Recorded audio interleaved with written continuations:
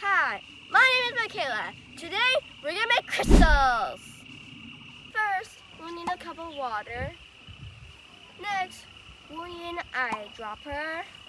Then we'll need a stir spoon. Then we'll need a test tube and a holder. Last but not least, water absorbing crystals.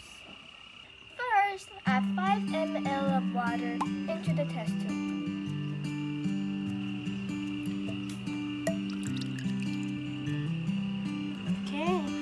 But the one I added in was 2 ml of water because there's no 5, so I had to add another 2. 2. There. Now we add crystals, five crystals.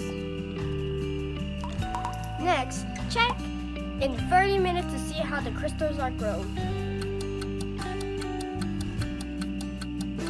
Well, it's been 30 minutes. Time to check on the crystals. Here are the original ones.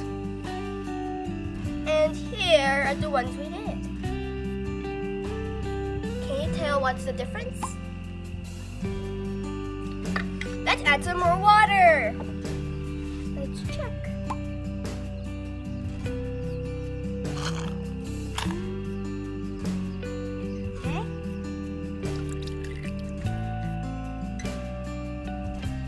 It's been one hour.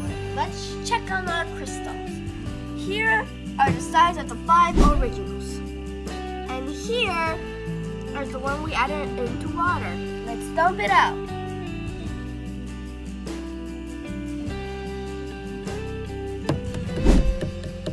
As we can see, the Nice. crystals has grown a lot.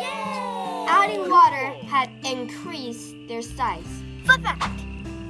Know that adding water to the crystals actually makes them squishy, not like the hard one we're used to? I'm Makayla. Thanks for joining us in growing crystals. We hope you liked the video. Bye bye.